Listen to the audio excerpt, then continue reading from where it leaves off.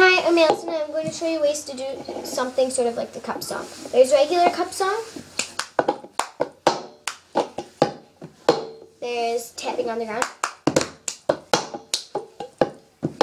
There is forward.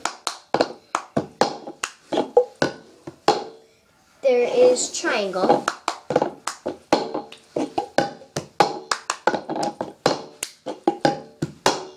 Then there is my favorite, the slide.